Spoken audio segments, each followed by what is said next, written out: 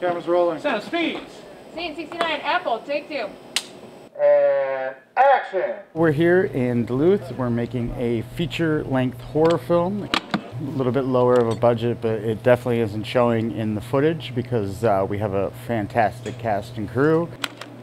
I've been learning how to swap out the lenses, how the specific camera works. It's the Alexa camera, so it's um, known for a lot of the well-known industries, like in the Marvel industries. They're- That's the camera they use. Today we're going to be shooting a couple really fun bar scenes. It's a little bit more uh, story building type stuff.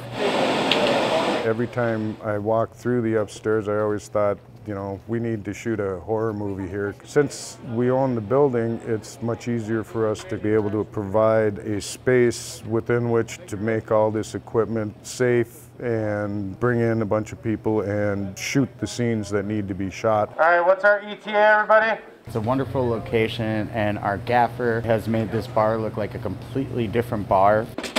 Yeah, we're going for a little bit more of a dingy, dirty look for that horror, grimy feel. We're shooting a night scene in the bar, so it's got to be dark in there so it looks like a night scene. Now it's starting to look like a nighttime bar at 3 p.m. I think the biggest challenge is time. 94 scenes in 18 or 19 days is hard to squeeze in. A lot of them are at night and overnight, so um, our hours are a little wonky. Some nights we're shooting from 5 p.m. to 5 a.m. It's been great. I love Duluth. It's like a home away from home at this point. Our producers are from Duluth and they're uh, very big on wanting to build the community up here. Here we go, guys. This is the one.